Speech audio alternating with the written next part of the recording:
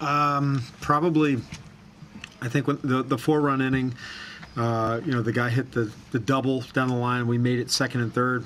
Potentially, Mallex could have cut that ball and got right to second base, and it's maybe turned into a different inning. Uh, the line drive to Robbie that he made a nice play on, but then overthrew CJ. But um, that's when it started to snowball, and then we just couldn't stop it from that point. And what do you think of Ryan Yarbrough's first? Uh, I thought he was okay. You know, pitch count got up. I know he's better than that. We saw him better than that in spring training. Uh, he will be better than that. It's just uh, probably a lot of anxiety. I know he's pitched, but that first start, there's something to be said for that. Similar what we talked about with Johnny Field last night. And uh, maybe we saw a little bit of that. As soon as he figures out that his stuff plays up here, to trust it and to attack hitters early in the count, that's what makes him good. I was talking to Kyle on the bench earlier today, and I think he struck out, you know, 10 an inning, or, or excuse me, 10 a game, 9 a game in AAA, and walked probably two and a half roughly. Right now, it's kind of even, and uh, that's not him, but we'll, we'll let him, being young, kind of grow into that confident role. Any update on KK? He's going to go get an MRI tomorrow. Not um, not too excited about the potential of it. I don't want to get too far ahead of it, but he's going to be out. Is there uh, any concern with Carlos? He had, he's had a rough uh, go here, especially this series. 0 for 5 today, 0 for 13 in the series, 0 for 15. Yeah, I mean, I think there's fair concern for everybody a little bit right now, with the exception of Mallex. I know Denard had a uh, a better day today, but we, we, there's no doubt we have concern one through nine. Uh, the one thing I will say about Carlos is that he's got the track record of being able to, to come out of this. He's proven that. I guess he'd be a little bit more concerned if it was a younger player, but he's got a track record. He's going to hit, and when he does, uh, we'll start benefiting from it. You're out of that inning. If that ball comes down in the Sucre, did did it look like it would have come in?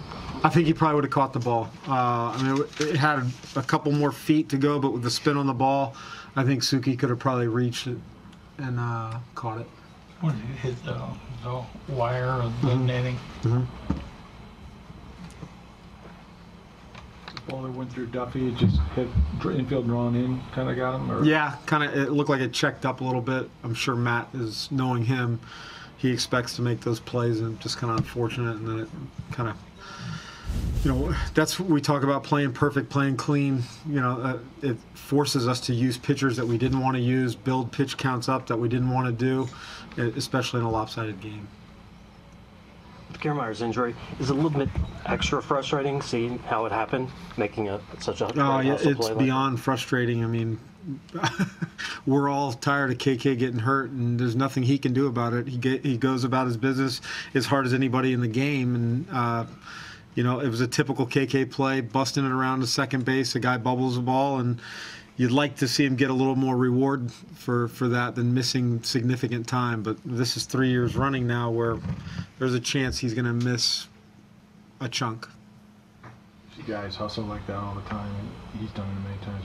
You ever like to see him go feet first instead of going in with your hand? I I don't think you can really change a style of the way the comfort of slide. I mean, we'll, we'll take the, the effort that he gives. I, it'd be way off base on me to second guess anything KK does because you know if you if you're pi hand picking somebody to play, uh, that's the style you want your guys to play. And this was the thumb, like on the Yeah. joint of the thumb? Or? Uh, yeah, I mean I haven't actually. Yes, th- all thumb. Kevin, has it been long enough now for you to It's have been a real better, long. to have a better evaluation of bullpen days? You seen good, you seen bad. Um, you know what? We're going to debate it probably for a while. Uh, and anytime you do something different, it's going to get debated. We understand that. We knew those thoughts were going to come along with it. I don't know if it's totally fair to to say it when you're in a, you know, a three and eleven, whatever whatever our record is right now, stretch. I mean, because when you get in that stretch, everything's going wrong. Defense, pitching, hitting.